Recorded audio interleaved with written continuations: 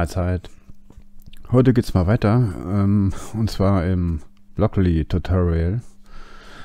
Ähm, heute zeige ich, ja, was man noch so beachten muss ähm, bei den Blöcken, wenn man welche erstellt. Weil es gibt so ein paar, ja, wie soll ich das nennen? Das sind keine Hindernisse, aber halt so ein paar Sachen, die man ja, wissen sollte oder müsste. Wie dieser Block hier funktioniert, das habe ich ja schon im ersten Teil ähm, ähm, gezeigt. Und ähm, hier zeige ich mal so ein paar Besonderheiten, die man beachten muss. Ähm, nehmen wir mal an, wir haben, ich mache das einfach mal. Ähm, ich, ich erstelle diesen Block mal neu, verknüpfe den mit etwas. Ähm, und zwar verknüpfe ich den mal, was weiß ich, nehme hier mal von Alexa den Adapter und hier verknüpfe ich mal was hier aus History. Also ich will irgendwas erstellen, was mit History zu tun hat. Ähm, wie gesagt, das ist jetzt einfach nur ein Beispiel. Das ist jetzt etwas, was nicht funktioniert, aber halt, ja, damit man weiß, was ich damit meine. Zum Beispiel dieses Sumari hier. Und dann knüpfe ich, verknüpfe ich hier was, dass er dann da irgendwas aussuchen soll. Zum Beispiel auch das Sumari und hier zum Beispiel, ja, ja, welcher angesprochen werden soll. Der Name zum Beispiel. Zur Erklärung mal. Ich habe hier nochmal drauf geklickt. Wie gesagt, das ist ja der Alexa-Adapter. Ähm, wenn jetzt hier, ähm, also unter History, ist nur ein Beispiel. Wenn ich jetzt etwas zu Alexa sage oder wie auch immer, das wird dann hier angezeigt. Also alles, was ich sage, wird hier angezeigt und hier wird angezeigt, ähm, welcher Echo das gerade gesagt hat. Ne? Also ähm, bedeutet, wenn ich zu ihr etwas sage, wird das hier aktualisiert von ihr und das hier wird aktualisiert von ihr. Also sie schreibt hier etwas rein und hier etwas rein und hier schreibt sie was rein und hier und hier und so weiter. Ne? Also das wird ähm, übertragen von der Cloud hier rein nach Aerobroker. Das, was ähm, Alexa tätigt, sage ich jetzt mal so. Und das muss jetzt nicht Alexa sein, das können ja auch irgendwelche andere Sachen sein, wo dann irgendwelche Sachen reingeschrieben werden, werden und wo dann, wo hier Wert steht, also hier steht Value, aber wenn man das jetzt richtig angucken will, unter Objekte würde hier oben Wert drin stehen ähm, dass hier Sachen reingeschrieben werden und geändert werden. Okay, jetzt nehmen wir mal an, dass ich jetzt irgendwas erstellen möchte, wo er hier reingucken soll und auch hier reingucken soll. Ähm, nehmen wir mal an, ich sage jetzt irgendwas und in Sumari steht jetzt etwas drin, so wie es auch drin stehen soll, damit er danach irgendetwas ansteuert, was dann eingeschaltet wird oder wie auch immer.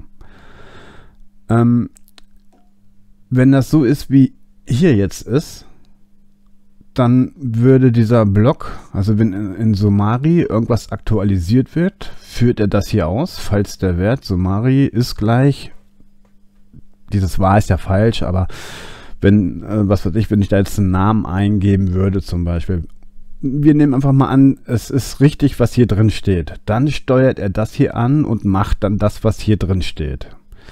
Danach, ähm, ja, der Block, der wird nicht abgebrochen, aber er beendet das hier. Und zwar, er beendet das, was jetzt hier in diesem blauen drin steht.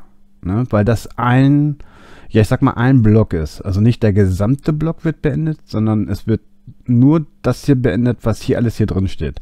Das heißt, ihn interessiert es dann nicht mehr, was hier drin steht. Also er kontrolliert nicht mehr nach, ähm, ob das jetzt hier auch wahr oder unwahr, ob das richtig ist oder sonst was, sondern er bricht hier ab. Ne? Also ihr könnt es nicht machen, dass falls das hier wahr ist, also wenn das die Wahrheit entspricht, soll er das ansteuern und wenn das hier auch richtig ist, soll er auch das hier ansteuern. Das funktioniert nicht. Weil, wie gesagt, sobald er etwas erkennt, also wir nehmen mal an, ich drücke mal auf das Blau hier, weil dadurch kann man ja mehr Sachen erstellen. Das ist, ist einfach nur ein Beispiel. Ne? Also wenn hier noch mehr Sachen drin stehen, guckt er hier nach, ja, ähm, erfüllt es, was hier drin steht? Nee, erfüllt nicht. Erfüllt es hier drin steht? Ja, das erfüllt, dann bricht er ab. Also egal, was hier noch kommt, das ähm, guckt er nicht mehr nach. Also da ist Ende. Wenn ihr wollt, dass irgendwie noch gleichzeitig ähm, andere Sachen angeguckt werden, dann müsst ihr das anders machen. Jetzt könnte man denken, ja, okay, dann mache ich das einfach so. Ne? Also er guckt jetzt zum Beispiel hier nach, ja, alles klar, wenn das richtig ist, steuert er das, steuert er das an. Wenn das nicht richtig ist, soll er das ansteuern. Aber er soll noch gleichzeitig woanders gucken. Das heißt, dann gehen wir hier rein bei Logik und fügen so einen neuen dazu. Das bedeutet nämlich, sobald hier etwas passiert, dann führt er das hier aus, was hier drin steht, fängt mit dem oberen an und gleichzeitig ähm, fängt er auch an, was hier drin steht.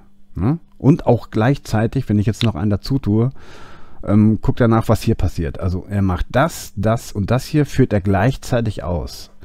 Betonung auf gleichzeitig, es ist fast gleichzeitig. Es geht, er fängt trotzdem mit dem ersten hier an, springt dann zu den nächsten und dann zu dem. Das sind aber nur, ja, ich sag mal, das sind Millisekunden oder sogar noch weniger.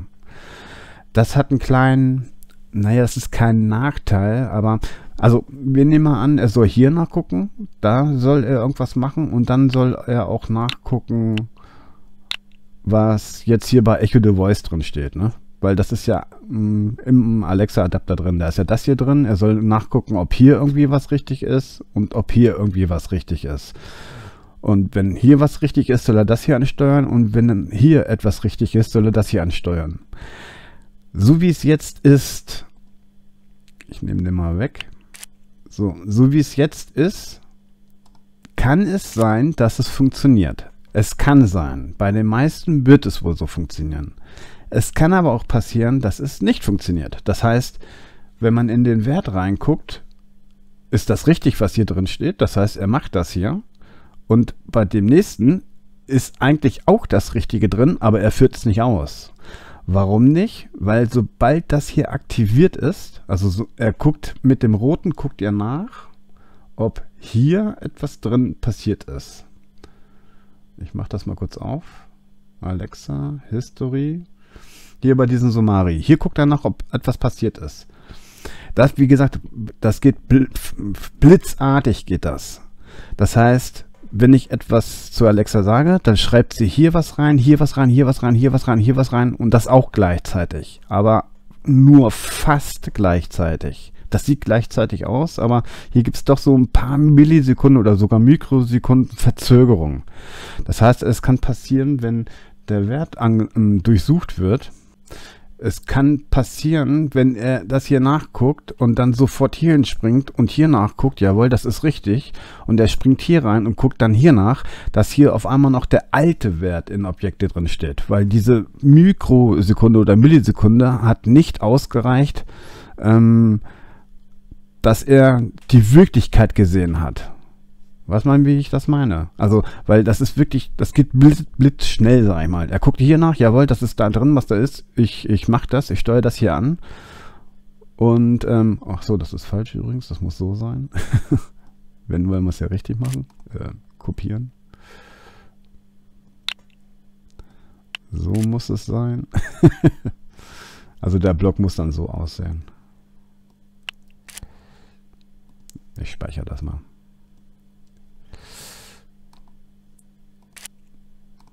So.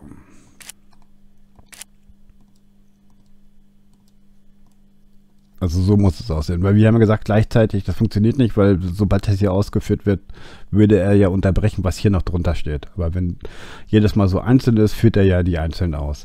Also wie gesagt, es kann passieren, er guckt hier nach. Ähm, das ist jetzt, nehmen wir mal an, verknüpft mit diesem Sumari. Er guckt hier nach guckt dann sofort nach, aha, das ist wahr, das, was da drin ist, ich führe das aus und gleichzeitig macht, führt er aber hier aus. Aber wie gesagt, es kann passieren, dass das noch da gar nicht drin steht. Also, dass die, die, das Wirkliche, was, was ähm, da eingegeben hat, dass das noch nicht drin steht, dass er hier noch den alten Wert ausliest. Ne? Deswegen kann es passieren, dass es nicht funktioniert. Bei den meisten wird es funktionieren, aber es kann sein, dass es, wenn ihr zum Beispiel noch FIS dazu tut und also den Raspberry, das ist ein Raspberry, der hier läuft, wenn er richtig ausgelastet ist, dann um, umso mehr wird es verzögert, dass in Objekte ähm, alle Sachen reingeschrieben werden. Ne? Da kann sein, dass das hier schneller ähm, abläuft, als wie die Sachen, die da drin aktualisiert werden. Ne? Deswegen würde ich euch immer raten, arbeitet mit Schleifen, wenn mehrere Sachen gleichzeitig abgefragt werden sollen. Und Schleifen würde ich machen und zwar als Timeout. Timeout, ich zeige das mal. Man kann das auch machen hier mit Verzögerung, aber das funktioniert nicht. Ich, ähm, nicht richtig oder fast genauso. Ja, weil das auch alles ab, gleichzeitig abläuft. Aber ich zeige das mal mit Timeouts. Timeout bedeutet, er führt das nicht sofort aus, sondern das, was man hier eingibt. Und wenn man jetzt zum Beispiel hier eingibt 100, 100 Millisekunden, soll er warten. Das heißt, er guckt nach, ob hier irgendwas passiert. Das kann er sofort machen oder das muss er sogar fort, sofort machen. Sobald ja irgendwas in einem Objekt passiert, das kriegt dann dieses rote Objekt mit und dann, jawohl, führt das sofort aus. Aber weil hier ausführen Timeout in 100 Millisekunden ist, wartet er jetzt 100 Millisekunden. Jetzt kann man auch mit Gewissheit sagen, dass innerhalb von diesen 100 Millisekunden ähm, alles richtig hier in Objekte schon reingeschrieben worden sind. Von ihr zum Beispiel. Oder auch von anderen Geräten, wenn zum Beispiel Temperatur abgefragt wird, die Solltemperatur und hast du nicht gesehen. Das sieht so aus, als wenn es gleichzeitig passiert, aber es sind doch so ein paar Mikromillisekunden, die ähm, doch zeitverzögert sind. Und das äh, machen wir hiermit weg, wenn man das so nimmt. Ne? Weil er wartet ja erst 100 Millisekunden. In der Zeit stehen hier bestimmt die richtigen Sachen, wurden schon alle richtig aktualisiert. Und dann fragt er erst die Sachen ab und führt das auch richtig aus, was hier drin steht. Ne? Also so hat man eine Gewissheit, dass auch wirklich die richtigen Werte drin stehen. Ne? Wenn es nur ein Objekt ist, was man hier anklickt und verknüpft. Und auch hier ist dasselbe mit, also die Verknüpfung, das ist mit demselben wie hier verknüpft und auch mit demselben wie hier verknüpft. Dann braucht man dieses Ausführen nicht, ne? weil dieses rote reagiert ja sobald das ähm, irgendwie ähm, geändert worden ist. Und dann ist der echte oder der richtige Wert ja schon drin. Also darauf muss man achten. Ne? Also wie gesagt, alles, was, wenn hier mehrere Sachen drin stehen, ne, dann bricht er dort ab, wo es zu Ende ist. So nochmal. Also er guckt nach. Nee, stimmt nicht. Er guckt dann nach, was hier quasi drin steht. Ja, hier stimmt's. Und dann guckt er hier nicht mehr nach. Ihm interessiert es nicht mehr, was hier drin steht. Hier macht das aber, weil das hier und das hier wird gleichzeitig ausgeführt. Ne? Aber wie gesagt, sozusagen gleichzeitig. Nicht zu 100% gleichzeitig, aber fast. Das gleiche, das passiert auch mit solchen Sachen hier. Einfach, ich zeige das mal. Und zwar, einige arbeiten ja auch nicht mit diesen Ausführen, mit Timeout, mit Verzögerung, sondern die machen das, ähm, kann man ja auch machen, das ist einfacher, dann braucht man nicht immer sowas hier zu erstellen. Und zwar mit diesem Verzögern, was hier steht. Ähm, obwohl das jetzt Quatsch ist, was ich hier gemacht habe. Moment, ich mache das nochmal kurz rückgängig. so, und zwar äh, kann man es ja auch so machen, also wenn er zum Beispiel den Wert, wenn hier wahr ist, hier steht unwahr, zum Beispiel ist drin, und äh, soll das hier ansteuern und er soll noch irgendwas ansteuern. Ne? Also wenn es zum Beispiel wahr ist, kann man jetzt einen rechten Mausklick machen und steuere, weil das führt er wieder gleichzeitig aus. Ne? Also wenn das wahr ist, da steuert er das Gerät an, das Gerät an und das Gerät an und schreibt das in den Wert rein und das in den Wert und das in den Wert rein. Ähm, jetzt kann man auch Verzögerungen reinmachen. Ich mache mal so Verzögerungen rein. So, ähm, so zum Beispiel. Das würde bedeuten, wenn das wahr ist, führt er das hier aus, schreibt dort in den Wert wahr rein, aber weil hier Verzögerung angeklickt ist, erst in 1000 Millisekunden, also in einer Sekunde. Das heißt, er wartet hier eine Sekunde, bevor er dieses da reinschreibt in den Wert unter den Objekten, mit das hier verknüpft worden ist. Jetzt kann man denken, er macht das hier, weil wie gesagt, es wird alles gleichzeitig ausgeführt, aber mit Millisekunden Verzögerung. Das hier heißt aber nicht, dass er das hier ausführt nach einer Sekunde und dann, wenn das ausgeführt worden ist, führt er das aus nach einer Sekunde. Und wenn das ausgeführt ist, führt er das aus. Das stimmt nicht, sondern wirklich, die werden gleichzeitig ausgeführt. Das heißt, wenn ihr ähm, zum Beispiel machen wollt, dass eine Lampe, die Lampe 1 soll in einer Sekunde angehen und danach soll die Lampe ähm, in einer weiteren Sekunde angehen und danach in einer noch weiteren Sekunde, dann müsst ihr hier das erhöhen. Das heißt zwei Sekunden und drei Sekunden. Ne?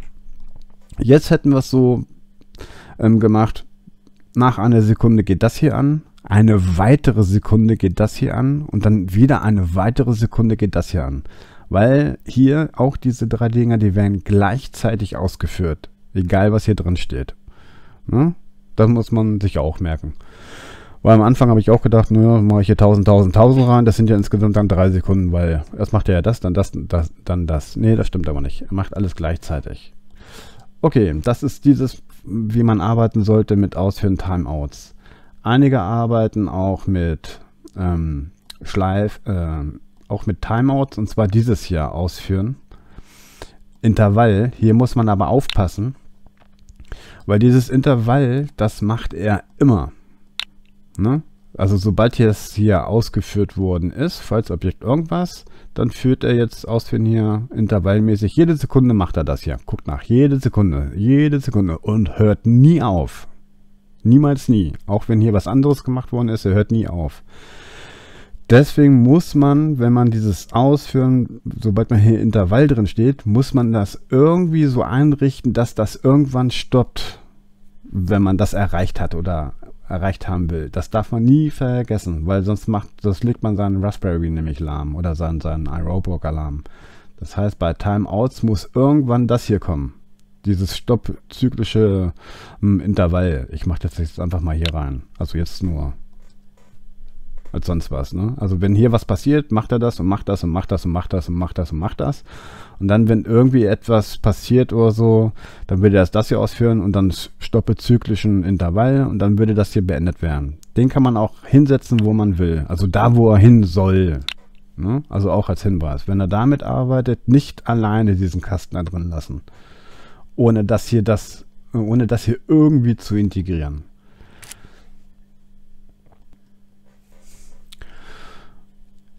Ja, ansonsten, was kann man sonst noch machen? Ich mache das jetzt nur von dem roten her, das hatte ich ja schon mal gesagt, weil damit arbeite ich manchmal auch. Wie gesagt, einfach mal durchlesen, was hier so drin steht, wurde geändert. Hatte ich ja schon mal gesagt. Heißt, wenn wichtig, wenn etwas geändert wurde, das heißt, wenn da vorher True drin stand, muss danach False drin stehen, ansonsten passiert da nichts. Wurde aktualisiert bedeutet, da kann drin stehen, was, was will. Also wenn ich sage, mach, mach das Licht an, dann wurde es aktualisiert und wenn ich dann wieder sage, mach das Licht an, wurde es wieder aktualisiert, weil einfach dieser Wert aktualisiert wurde. Zum gleichen hin, das ist egal, aber er wurde irgendwie aktualisiert. Dann kann es ja passieren, dass, dass, dass diese Objekt-ID irgendwie eine Größe hat, ähm, was im Wert drin steht. Also wenn das mit Zahlen, zum Beispiel Thermostate, wenn der Wert größer ist als der letzte. Also vorher waren es zum Beispiel 20 Grad und dann würde dieses, das rote Objekt erst anspringen, wenn man das hier auswählt, wenn die Temperatur höher gegangen ist. Ne? Also wenn da 20 Grad drin, vorher drin stand und danach stehen 19 Grad drin, reagiert dieses Objekt nicht. Oder ist halt, ist gleich oder größer, größer das letzte. Oder halt ist kleiner, ist kleiner als das letzte, ist wahr oder ist unwahr. Ne? Also hier macht er sobald nur wahr drin steht, auch wenn es aktualisiert wurde. Also das heißt, wenn ich sage, mach Lampe an, da steht da wahr drin. Wenn ich dann sage, mache Lampe an, also ein zweites Mal, da steht wieder wahr drin und dann führt das auch aus. Wenn ich aber sage, mache Lampe aus, dann interessiert ihn das gar nicht, was da, ähm, ja, was da sonst noch drin steht. Das sind so die Sachen. Damit kann man auch noch arbeiten, kann man einige Sachen erleichtern na, was heißt erleichtern? Das kann man zwar auch über Blöcke machen, aber das ist ja auch schon integriert und warum soll man das nicht nutzen? Das ist das. Was gibt es sonst noch? Bei Wert würde ich so lassen. Das ist noch, ja, lasst es bei Wert. ähm, hier gibt es in dem Fall wahr und unwahr. Ihr könnt noch, wie gesagt, ihr müsst das einfach ausprobieren. Wenn mehrere Sachen gemacht werden, das ist dann bei Logik. Also sowas zum Beispiel, wenn dieser Wert wahr ist und irgendwie noch eine andere Steckdose soll auch noch wahr sein, Ne? Erst dann wird das hier ausgeführt. Ja, das zum Beispiel oder halt, hier gibt es noch das oder, wenn irgendeine Lampe an ist oder irgendeine Steckdose an ist, dann soll er das hier ausführen. Und mit diesen, genau, das ist das. Ähm, ihr könnt machen, das ist jetzt so das letzte, was ich noch nehme. Danach ähm, war es das erstmal. Variablen. Guckt einfach um, was, was ihr damit machen könnt. Setzt eine Variable. Man kann das jetzt machen, obwohl das schon etwas fortgeschritten ist eigentlich. Man kann hiermit sagen, also zum Beispiel, wenn er hier jedes Mal was kontrollieren soll, hier oder das und hier mit das, dann müsst ihr ja, wenn ihr das wenn ihr jetzt mehrere Lampen machen wollt, müsstet ihr ja jedes Mal neu verknüpfen, verknüpfen, verknüpfen, verknüpfen, verknüpfen und so weiter. Verknüpfen, verknüpfen. Ähm, ich mache das neuerdings nicht mehr. Das ist zwar am Anfang ein bisschen ähm, umständlicher, aber wie gesagt, Variablen sind kleine Speicher, die man ja füllen kann. Ähm, was keine Objekte sind oder sonst was. Also man kann, man, man, man ja, ich nenne es einfach Speicher. Es sind kleine Speicher. Ich setze das einfach mal hier oben ein. Nur so als Beispiel. Ähm, dieses Objekt-ID, Logik, das muss ich kurz mal kurz gucken, wo das drin ist. Das war bei System, glaube ich. Ja, Objekt-ID. Also ich kann das auch so machen. Objekt-ID wähle ich jetzt zum Beispiel aus und dann setze Value gefällt mir nicht. Eine Variable erstellen. Ich nenne das jetzt einfach mal Steckdose.